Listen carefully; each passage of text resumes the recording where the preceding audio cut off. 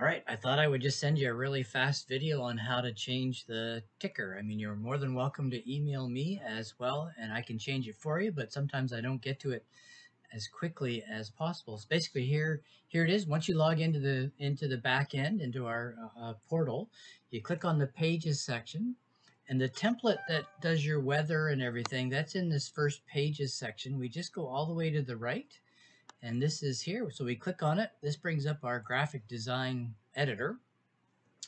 And then you can see in here, I'm just going to make the window a little smaller so the uh, box comes up. and You can see the bottom.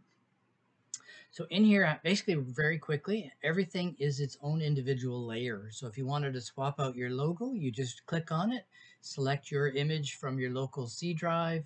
Um, weather is fine, it's just our weather app. Uh, if you click on the ticker across the bottom, this brings up our ticker app. And again, anytime you click on something on the screen, the menu on the left will change uh, related to the item that you clicked on. Again, these are all individual layers and I can grab it and I can move it wherever I want. Um, we'll just put it back. Sorry, a little bit sticky. Uh, yeah, and then you just click in this box here. This is where your ticker information is. You can either type in what you'd like.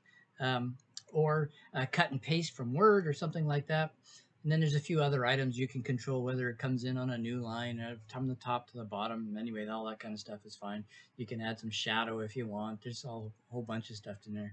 Anyway, once you're happy with it, you just click uh, Save and back to the dashboard. And then your shows that are running on your TV through the channel section here will automatically update uh, and play your information. So if you want to see what's playing, you just click the little eyeball. Uh, and if you want to copy that address to walk it over to that computer, that's your dedicated web address there. So you would just uh, open Google Chrome on the TV uh, computer that's attached to your TV, play that web address, and you're good to go. And if we click on it, well, it's going to open full screen, so you're not going to be able to see it. So I'm going to end the video there.